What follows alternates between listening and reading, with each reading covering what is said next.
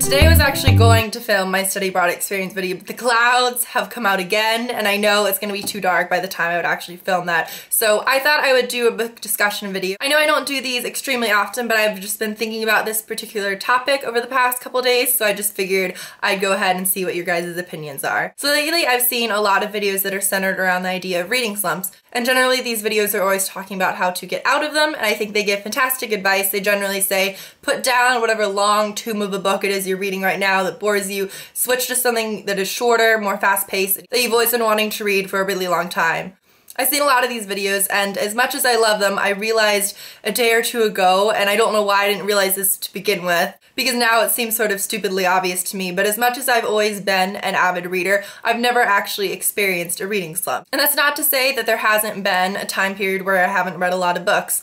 I've always been an avid reader. It isn't as if a certain book, like say Harry Potter, Twilight, and I know those really turned on and spurred a lot of people to start read reading, which I think is fantastic. I personally just always read quite often. Not necessarily the amount of books that I see a lot of booktubers are capable of reading each month. People are like, oh, I only read eight this month. But when I say I've never experienced a reading slump, I mean that there has been a time period where, say I went a month, maybe even two months, without reading a book. You guys probably noticed that while I was abroad for four months, I only actually read one book. And I know when I say that a lot of you guys are probably thinking, well then you were experiencing reading slumps, you weren't reading books. But I don't actually think so. When people describe reading slumps, it seems as if they're describing this feelings of anxiety of not reading a book and just feeling like they should be reading, so they're trying to do all of these things to just spur them on to read. This hasn't been the case so much since I started booktube, except for like when I was saying when I was studying abroad. Like I was saying, before I started booktube, I could easily go a month and not read a book, and never once was I filled with this like trepidation over the fact that I wasn't reading. So I wouldn't call it a slump, it was just a time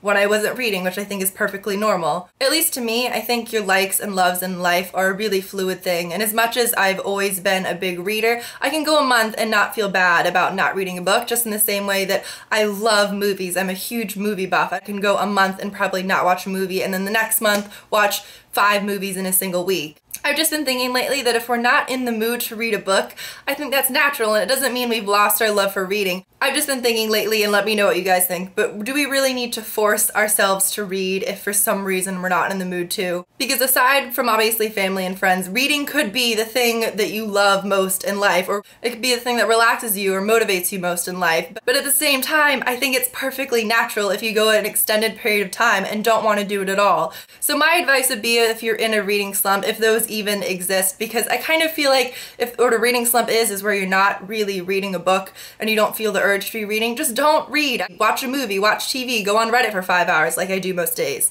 I know a lot of times this can't be the case, say if you're a book editor or you have a book blog or anything like that that is your livelihood, but for the most part, if you don't feel the urge to read, just don't, and I think that's perfectly fine. Because I think if you start to stress yourself out and make yourself feel as if reading has to be something you do very, very consistently all the time, then reading might slowly shift from being a love to more of a chore. And obviously I know that this isn't always the case. I know some people just are reading a book they don't like very much, but feel that urge to read so they need something else. So let me know what you guys think about reading slumps, what your opinions on them are. Again, I'm not trying to undermine all the videos talking about reading slumps. This is just something I've been thinking about lately and I wanted to see what you guys thought. So let me know if you'd like to see more book discussion videos like this and I'll see you guys soon. Bye.